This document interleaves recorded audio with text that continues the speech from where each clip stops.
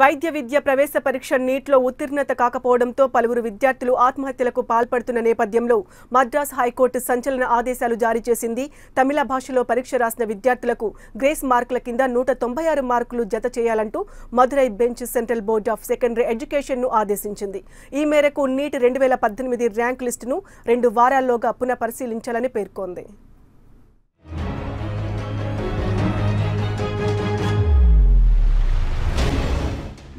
పరీక్షా ప్రశ్నాపత్రంలోని తమిళ భాష అనువాదంలో తప్పులు దొర్లాయంటూ సిపిఐఎం నేత టీకే రంగరాజన్ ప్రజా ప్రయోజన వ్యాజ్యం దాఖలు చేశారు. నలభై తొమ్మిది ప్రశ్నలు తప్పుగా అనువాదం చేసినందువల్ల గందరగోళానికి గురైన విద్యార్థులు మార్కులు కోల్పోయారని పిటిషన్లో పేర్కొన్నారు. ఈ పిటిషన్పై విచారణ జరిపిన మదురై బెంచ్ సిబిఎస్ఈ తీరును తప్పుపట్టింది. నీట్ పరీక్షకు సంబంధించి ప్రజా ప్రయోజన వ్యాజ్యం విచారణ పెండింగ్లో ఉండగానే ర్యాంకుల లిస్టు ఎలా విడుదల చేస్తారని ఆగ్రహం వ్యక్తం చేసింది.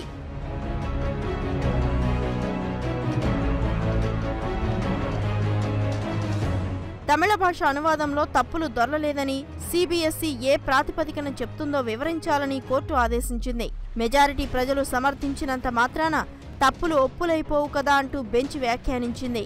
పిల్ విచారణ కొనసాగుతుండగానే ర్యాంకు లిస్టు విడుదల చేయడం ద్వారా సిబిఎస్ఈ నిరంకుశంగా వ్యవహరించిందని కోర్టు ఆగ్రహం వ్యక్తం చేసింది. అనువాద తప్పిదాల వల్ల విద్యార్థులు మార్కులు కోల్పోయారన్న వాదనను సిబిఎస్ఈ తేలిగ్గా తీసుకోవడం బాధ్యతారాహిత్యమేనని మండిపడింది. సైన్స్ విభాగంలో ఆంగ్ల పదాలతో సరిపోయే తమిళ పదాలను రూపొందించడానికి ఎటువంటి ప్రమాణాలు పాటించిందో వివరణ ఇస్తూ అఫిడవిట్ దాఖలు చేయాలని సిబిఎస్ఈని ఆదేశించింది.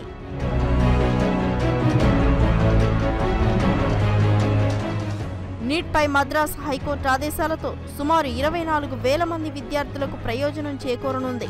ఒకవేళ హైకోర్టు ప్రస్తావించిన నూట తొంభై ఆరు మార్కులు కలిపితే ర్యాంకుల్లో భారీ మార్పులు వచ్చే అవకాశాలు ఉన్నాయి.